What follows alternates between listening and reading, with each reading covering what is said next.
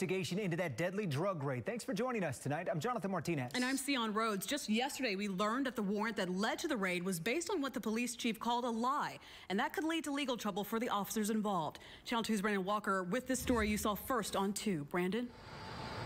And see on that affidavit calls to question the actions of Officer Gerald Goins, the case agent here, a 34-year veteran of the Houston Police Department. As you mentioned during a press conference yesterday, Chief Acevedo says that affidavit does speak to criminal wrongdoing here, but the big puzzler tonight is to what extent.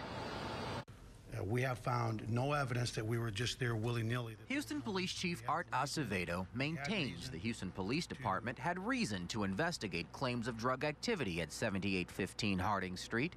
This despite an affidavit first obtained by Channel 2 Friday that alleges the case agent, Officer Gerald Goins, lied in order to get a judge to sign a no-knock warrant, claiming a confidential informant bought black tar heroin at the house.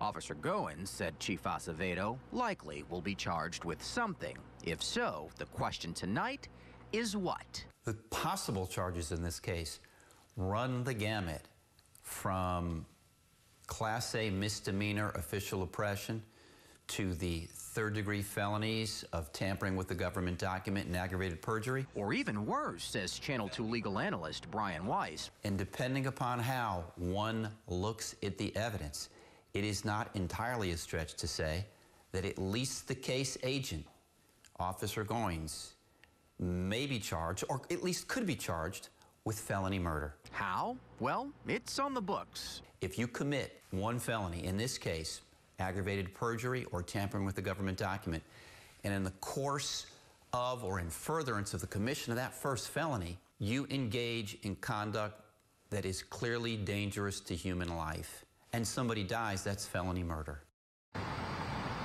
Indeed, but that's a conclusion that we're nowhere near getting to at the moment. It all depends on an internal investigation currently underway here at Houston Police Headquarters. And then the conclusion, whatever those findings will, will be, will be handed off to the district attorney's office. And that's when we'll, be we'll continue, excuse me, to see whatever charges will be filed here. So stay with us as we stay on top of this story.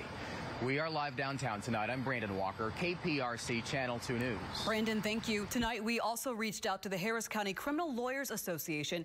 They released a statement regarding how the warrant came to be, saying in part, moving forward, every case that officer handled is going to be under very strict scrutiny and very well likely have to be have the evidence legally thrown out and the cases overturned.